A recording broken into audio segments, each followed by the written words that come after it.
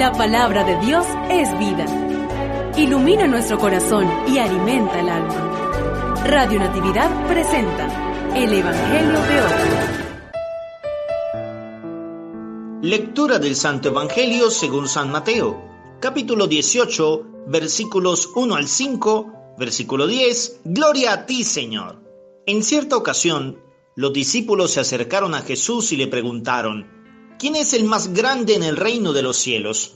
Jesús llamó a un niño, lo puso en medio de ellos y les dijo, yo les aseguro a ustedes que si no cambian y no se hacen como los niños, no entrarán en el reino de los cielos.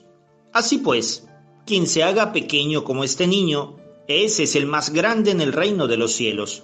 Y el que reciba a un niño como este en mi nombre, me recibe a mí. Cuidado con despreciar a uno de estos pequeños, pues yo les digo que sus ángeles en el cielo ven continuamente el rostro de mi Padre que está en el cielo. Palabra del Señor. Gloria a ti, Señor Jesús. Un saludo de paz y bien para todos aquellos que nos escuchan a través de Radio Natividad, la emisora católica del Táchira, donde queremos cada día ayudarte a cargar el yugo suave del amor de Dios en tu vida. Y hoy, queridos hermanos, Hemos escuchado en este Evangelio de San Mateo una pregunta importante para los discípulos. ¿Quién es el más grande en el reino de los cielos?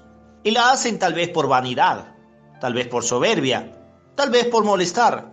No sabemos la razón.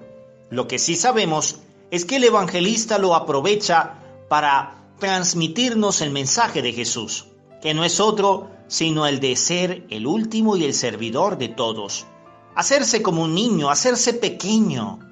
Y también nos indica, cuidado con despreciar a uno de los pequeños, porque el rostro del Padre que está en el cielo está continuamente dirigido a los ángeles de ellos.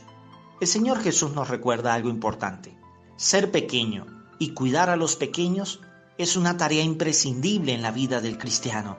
Tantos pequeños que sufren, que están solos, huérfanos, abandonados en las calles, que viven injusticias, que son víctimas de abusos, de violación, que sus derechos son violentados en todo momento. No basta solo con orar. Cuando ves a alguien que está perdido de Dios, ¿tú lo ayudas o lo dejas con su vida?